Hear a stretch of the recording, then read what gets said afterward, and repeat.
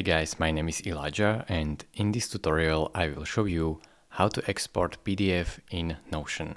So this is actually pretty simple and straightforward, just follow my steps. So first step is to navigate to the page that you want to export. Click on it to open it. Now navigate to the top right corner where you can see these three dots and click on that. This will pop up this menu and simply click on export right here. Here from the export format, select PDF.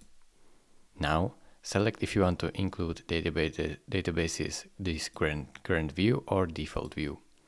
Now you can choose how you want to include this content, so you could choose everything or no files or images.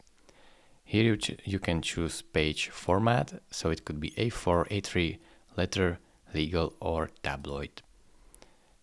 And now finally choose a scale percent, so I will leave it as 100 for the sake of this tutorial, and click on export. This will export your Notion page as a PDF and it will show you where you want to download it. So I will download it in my downloads folder and name it new PDF file. Then press save. Now you can open up your downloads folder and you should be able to see your PDF file right here. It is really simple. Thank you very much for watching. If this video was helpful to you, consider subscribing and liking this video and I will see you in the next tutorial.